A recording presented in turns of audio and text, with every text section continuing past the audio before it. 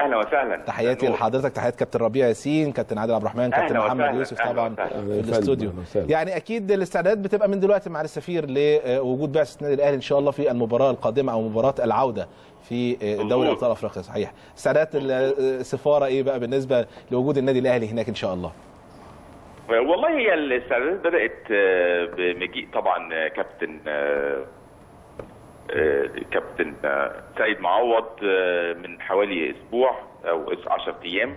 وهو جه طلع على الأول اتفرج على ال- المباراة ما بين آه، فريق مونانا والفريق البوركيني. ويعني يعني خد خد فكرة بالظبط عن إمكانيات إمكانيات الفريق. وطلع برضه على ال- الترتيبات اللوجستية شاف الفندق ال- ال- ممكن الفريق يقيم فيه. ويعني دي كانت ال- البداية. وبعدين إحنا تواصلنا على تواصل دائم مع آه، كابتن سمير عدلي و آه، طارق بيه آه، أبيل عشان موضوعات ال- التسكين والفنادق. وعلى اتصال برضه بفريق منانا هنا عشان الترتيبات اللوجستية والاتوبيس اللي هيوفروه للفريق والسياره اللي هيوفروها لرئاسه البعثة وبالنسبة لمواعيد التدريب وبالنسبة. للملعب اللي هيقام عليه المباراة والملعب اللي هيقام عليه التدريبات فإحنا في في تواصل مستمر مع آه، الأطراف كلها جميل. آه، وإن شاء الله يكون آه، يعني ال- النادي الأهلي يوصل بالسلامه وإن شاء الله يلعب مباراة موفقة بإذن الله مع السفير أهلاوي ولا زملكاوي ولا بتشجع ال- والله أنا يعني هو أنا أنا أنا يعني بقالي فترة آه، كنت يعني إيه آه، يعني مع- معتزل شوية للموضوع الدوري بس زمان وأنا أنا فاكر زمان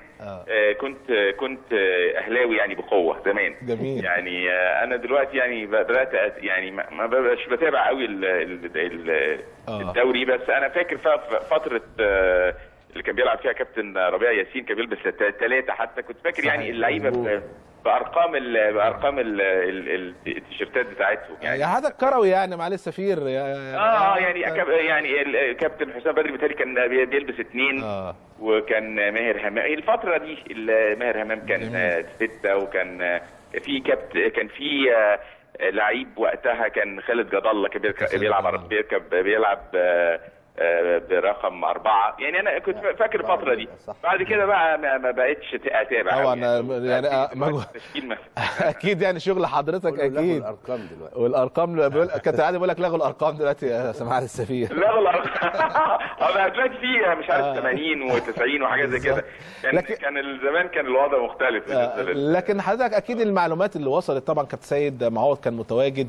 آه، ما أعرفش بقى حضرتك كنت متواجد أيضا بالنسبة ل- في الرحلة بتاعت كابتن سيد في الملعب وهو بيتابع. يعني تعليقاتك على فريق منانا نفسه ووجوده حتى في الدوري ال- ال- الجابوني. والله هو من الفرق الكويسة. يعني هو من الفرق الكويسة على مستوى الجابون آه، آه، أتذكر أنا ما كنتش لسه وصلت الجابون وقتها بس من سنتين تقريبا آه، لاعب فريق امبي هنا وفاز عليه. فهو فريق كويس. إنما طبعا هو يعني يعني كل ال- التقديرات وكل ال ال ال يعني اللي بيتكتب في الصحف آه، بي- بيشير إلى إن آه، إنهم بيعملوا حساب جامد جدا للنادي الأهلي. كان في مقالة امبارح كان بيتكلموا على تاريخ الأهلي آه، اتأسس إمتى أوائل القرن العشرين و أعتقد 1907 حاجة كده 1907 اللي كانوا. كاتبينه. آه، وإن هو فاز بالبطولة ثمان مرات وإن هو يعني آه، زي فريق ال- ال- ال- ال- القرن في إفريقيا و وإن هو هيبقى مواجه- مواجهته ما ما ما ما يعني آه، سهله كان الكلام ده كله موجود في في الصحف امبارح.